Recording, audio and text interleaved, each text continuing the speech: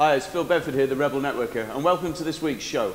Today, I'm here in Dubai with Dave Allen. Thanks. So, welcome. Glad to be here. Um, and really just to ask you for a bit of a tip. Um, one of the things I find as a coach, uh, particularly helping business owners to have better relationships with the right people, and those people helping them become more efficient, uh, efficient and effective in their business generation, we have to show people tools and techniques to do that. So people will invest in education, invest in learning, and then as they're learning, start to apply tools and techniques. And often what I see happen, and I'm sure happens for a lot of coaches out there, is as the individual starts to apply this material, they suddenly become overawed. And they start to think, well, I'm learning, but then I'm not doing. And often they'll come up to us as coaches and say, I need to stop. I need to pause this and stop and come back to you when I can apply all this because I don't feel like I'm getting value now. Of course, that then causes them to pause and starts to have impacts on their business.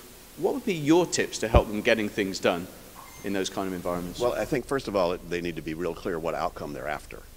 And when they get clear about what outcome they're after, and then say, okay, well, what are the behaviors that I can do that are going to move me toward that outcome that are not necessarily big things they need to do? Oftentimes people create monsters in their mind about how much stuff they need to do in order to be able to do it. But as you know, you know, they're just little tiny incremental things people can do moving in that direction. You know, I say small things done consistently in strategic places create huge results.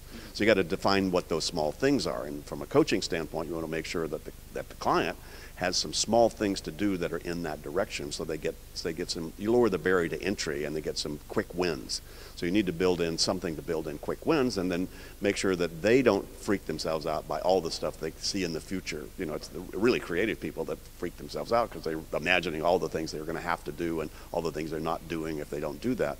And you just need to bring them back to okay current time today tomorrow and the next day what could you do that would at least move the needle a little bit in that direction?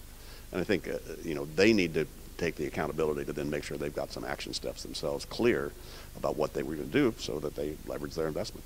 Okay. So, so one of the things you're suggesting, and that I'm hearing in there, is, is to bring it into their realm of uh, understanding that they've actually had successes. Yes, oh, Uh, indeed. and that lots and lots of small ones generates compound growth. Exactly. Uh, and, and recognizing that so they're not beating themselves up. Sure, exactly. And, you know, to ask themselves, uh, I like the idea of what's a keystone habit or a keystone behavior? You, you, know, if you've got too many behaviors out there in your mind, you're going to have to do. Say, oh, that's too much stuff to do. But what one, if you did that one, would start to, you know, have the domino effect, and the other ones would sort of fall into line. For some people, for instance, exercise might be the one habit or the one thing. If they started to do a little bit more of that, their energy would be up. With their energy up, then it's easy to do some of the other things that they want to do. So I would ask yourself, what's the keystone thing? A small thing I could do that it in itself has is that kind of gold nugget that might trigger mm. some other stuff. So a bottleneck really that's stopping it. Will exactly. Exactly. You just you just want to be appropriately engaged yeah. with moving forward. You don't want to, you know, freak yourself out that it's not perfect yet. You know, like like make a mistake. Just keep moving. You know, in the martial arts that I had a lot of experience with, what you don't do is stop moving.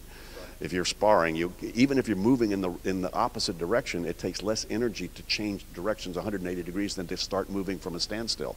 So don't let yourself stand still. Find something that keeps you engaged, at least even a small way. Brilliant. So find your flow, keep. I love it. Fantastic. I want to keep this short and sharp. David, thank you so much for your tips. Indeed, sure. And uh, see you next week on the Rebel Networker.